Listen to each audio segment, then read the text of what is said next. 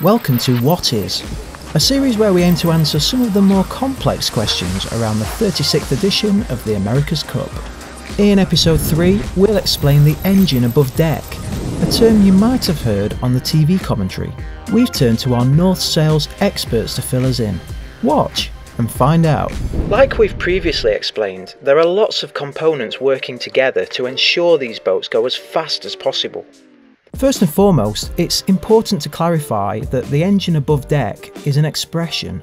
There is no literal engine on an AC-75. Rather, it refers to integrating the aero, the North 3DI sails, the Southern Spars rig and Future Fibres rigging with the boat's hydro package, the AC-75's hull and foils.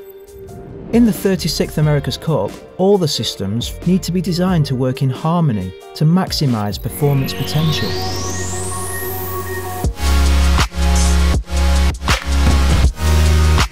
The engine above deck is made possible because of the North Design Suite software.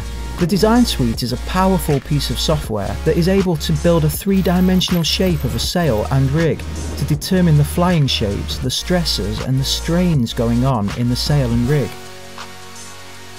The North Sail designers working on the AC-75s rely on five different programs. Desman, Spiral, Warps, Flow and Membrain. The data the designers receive from these five programs help the designer with making very confident decisions with their sail designs right from the start. These programs help bridge the gap between concept and reality.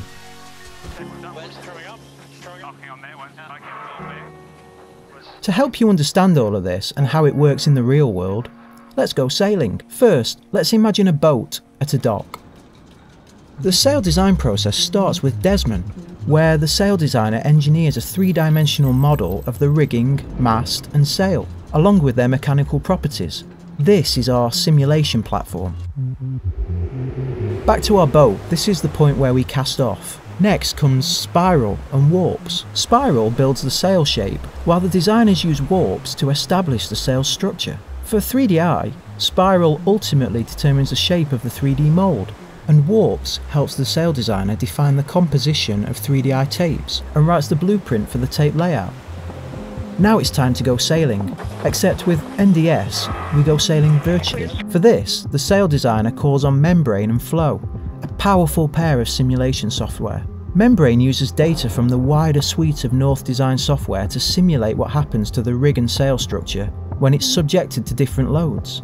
As the structure is deformed under load, the shape of the sail changes and Membrain pushes the data to flow, which applies wind pressure to sail surface and calculates the forces created.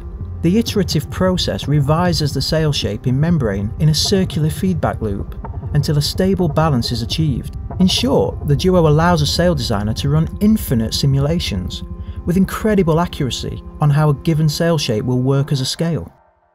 North Sails invented the scientific approach to sailmaking, and today the North Sails Design Suite is the most powerful and diverse sail design tool in the industry. The cool thing about the whole process is that it's not just a tool for designers, it's ultimately for the benefit of the customer in this case, an America's Cup sailing team and their design team. One thing that's evolved over the last decade is that in the past, developments needed to be verified with two boat testing on the water.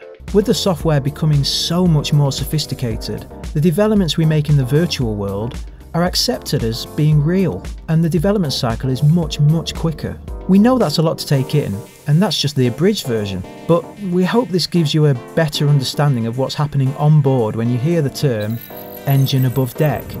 Stand by for our next episode of What Is. Hit the subscribe button below and make sure to tune into all the North Sails coverage of the 36th America's Cup.